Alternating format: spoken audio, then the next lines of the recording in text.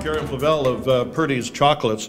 What makes Purdy's different from other competitors? What's, what's special about Purdy's?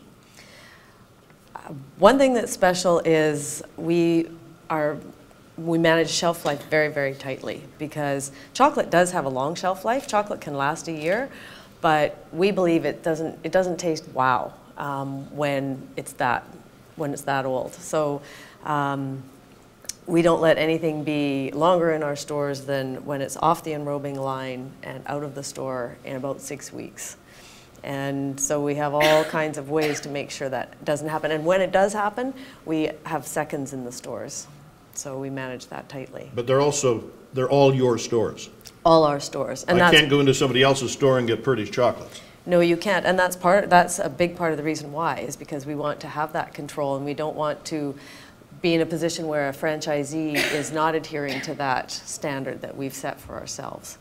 And as I say, it's, it's really more about taste than it is, it's certainly not that it's not good anymore. It's fine to eat, but it's not as wow. And wow is what we're looking for. The Chief Executives, broadcasting live from the SFU Beedie School of Business on CKNW.